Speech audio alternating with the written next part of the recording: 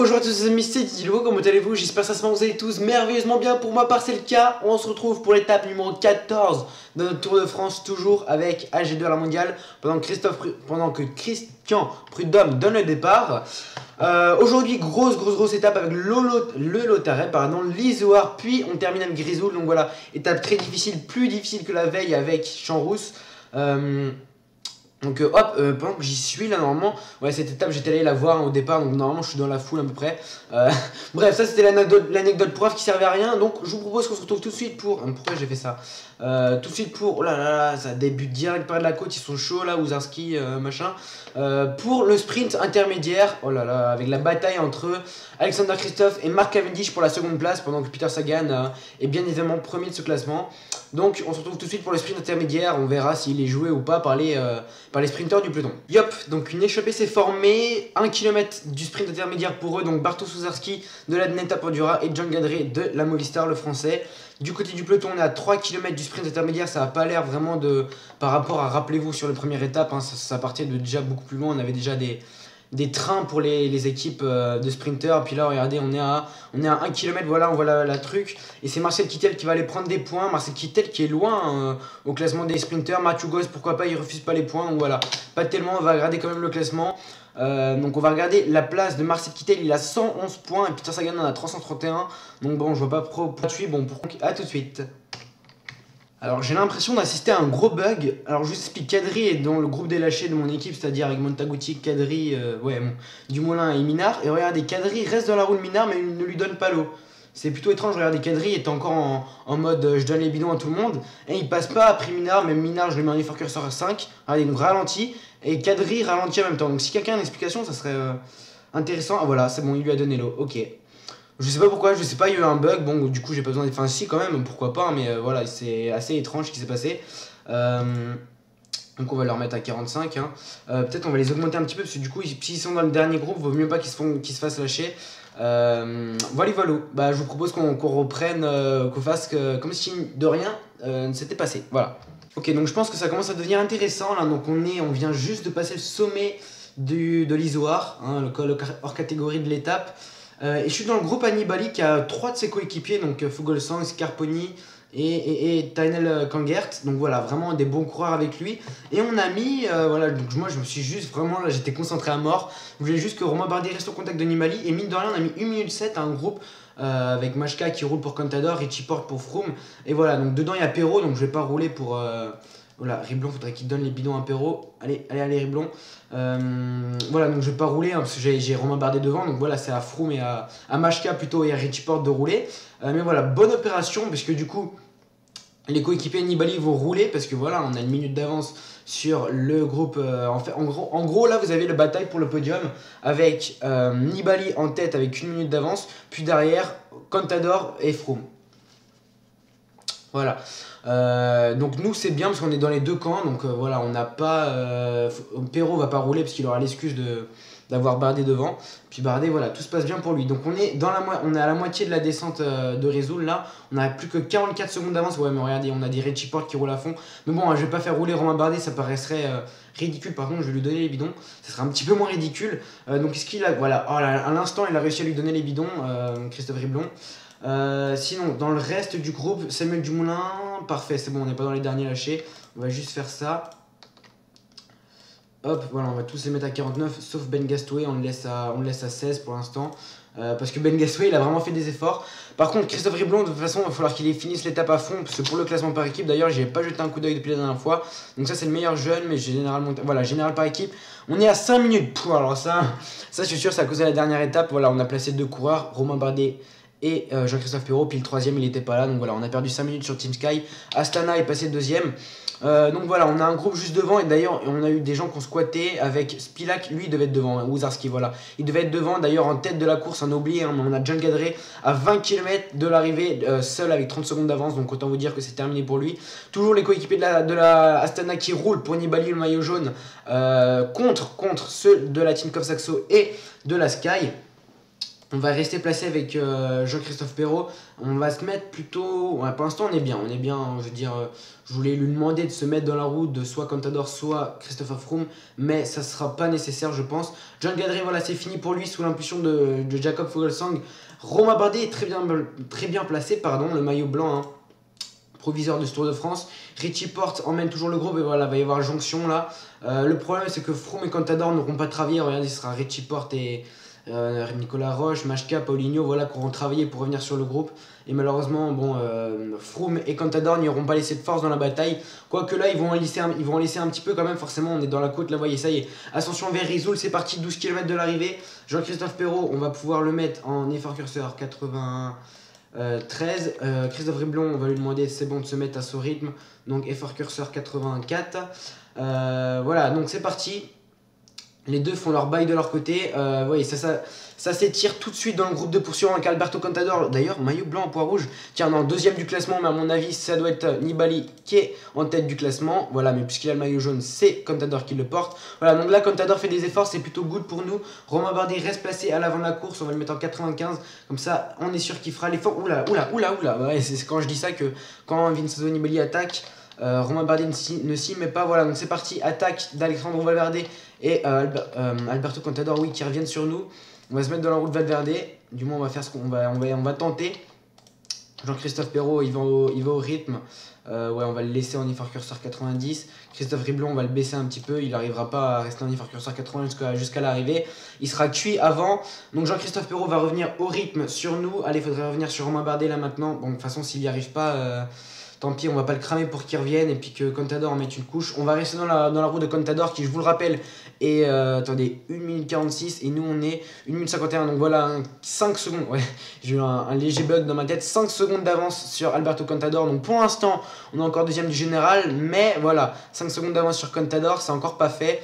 Euh, pour le podium aux Champs-Élysées, 5 km de l'arrivée, 26 secondes d'avance pour Vincenzo Nibali qui s'est euh, ménagé pendant toute la course. Voilà, c'est bien. Hop, euh, Jean-Christophe Perrault pardon, a réussi à tenir la roue, euh, à revenir sur le groupe Contador Valverde qui prennent eux deux. Donc pour l'instant, on va rester dans la roue. des deux coureurs, Romain Bardet au pire si, au pire s'ils n'utilisent pas toute leur barre blanc, barre jaune pardon, ça fait de la fraîcheur en plus, hein, tout simplement. Donc bon voilà, au pire du pire, parce que la fraîcheur n'est pas excellente. elle est très bonne pour Romain Bardet, puis bon pour Jean-Christophe Perrault. Donc bon, un peu de fraîcheur leur ferait pas de mal. Euh, donc voilà, s'ils sont pas complètement épuisés à l'arrivée, c'est pas grave. 45 secondes bientôt, une, minute d'avance hein, pour Vincenzo Nibali qui, hop, qui creuse l'écart. Pendant que, à mon avis, euh, Alberto Contador considère qu'il y a un trop gros écart. Euh, donc Jean-Christophe Perrault, on va le faire aller au train tout simplement. Fort Curseur 93 et Romain Bardet, on va, le on va se permettre de pouvoir le mettre en attaque. Hop, on va essayer de lui demander de se mettre dans la roue d'Alejandro Valverde. Allez, allez, allez. Euh, c'est bon, ça devrait pas poser, poser trop de difficultés. On va le mettre en effort curseur maintenant. Euh, peut-être qu'il va essayer de grappiller un petit peu de seconde à Alberto Contador. Ouais, voilà, c'est pas mal. à ce que fait Romain Bardet, il a l'air mieux qu'Alberto Contador. Voilà, Contador, Valverde, etc. paye les efforts de tout à l'heure. Romain Bardet était bien dans le groupe de Nibali tout à l'heure. Allez, hop, j'ai l'énergisant pour m'aborder, je l'ai peut-être donné un petit peu trop tard. Sprint maintenant, il va. Ah, c'est pas possible, il va pas réussir à, décrocher Alberto Contador. On va quand même assister à un petit sprint, même si ça brûle les jambes pour les deux. Bardet, Alberto Contador et Contador va venir nous déboucher sur la ligne. Bon, c'est pas grave, tant qu'il nous met pas de temps. Voilà, hop, deuxième place pour Romain euh, deuxième, deuxième place pour Alberto Contador, pardon. Troisième pour Romain Bardet. Jean-Christophe Ferro termine juste après Katowski, Pierre Roland, Joaquim Rodriguez, Rui Costa. Van Den Thibaut Pinot, un petit peu à la ramasse, hein, Thibaut Pinot sur ce Tour de France, euh, carrément à la ramasse. Hein. Chris Horner, Van Garderen, Léopold de Koning, Jacob Fogelsam, Simon Spilog, voilà tous les gens qu'on a vus sur le Tour de France.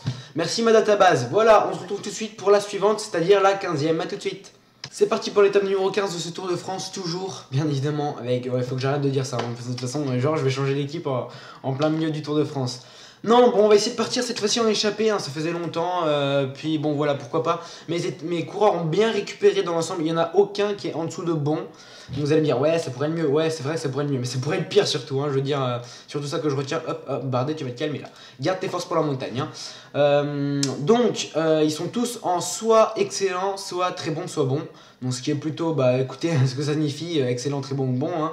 Euh, c'est comme les gens qui disent vas-y j'ai eu mention bien en bac, bah écoute c'est bien, c'est pas, euh, je sais pas, voilà ça veut dire ce que ça veut dire tout simplement.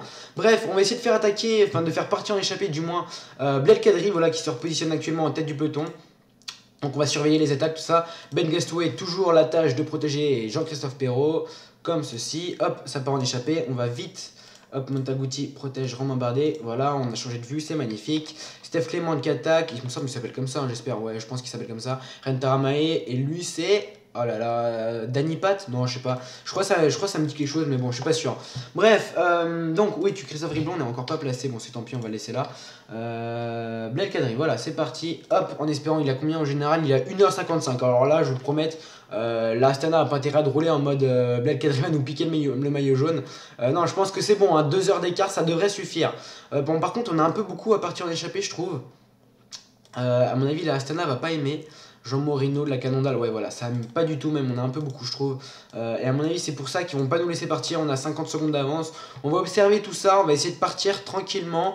Euh, mais bon, en tout cas on va essayer de partir, parce que tranquillement ça c'est sûr qu'on n'y arrivera pas. En tout cas on va essayer de partir. 35 euh, secondes, de toute façon on va se faire reprendre et ça va repartir, donc autant que je garde mes forces. Euh, ça m'étonnerait, à moins que ça qu'on persévère pendant longtemps, vraiment. Je regarde s'il y a vraiment des éléments perturbateurs dans cette échappée. On est tous à 1h, 1h50, ouais, on est tous à 1h50 minimum. Donc, euh, déjà pour le classement général, on est tranquille. Euh, ouais, bon, c'est bon, là ils sont motivés, ils nous ont vus, ils vont nous rattraper. Attention, qui va être le premier à partir Qui va être le premier à partir ça sera, hop, ça sera un coureur de la Belkin, ou alors il faisait, non, non, non, mais il attaquait bien. Voilà, donc nouvelle attaque, on va essayer de repartir. On va se mettre de la roue d'Arthur Michaud qui a gagné une étape sur ce Tour de France, l'étape numéro 11. Si je m'abuse, celle que j'ai pas pu vous montrer à cause de mon problème de micro. Tony Galopin également qui part dans l'échappée.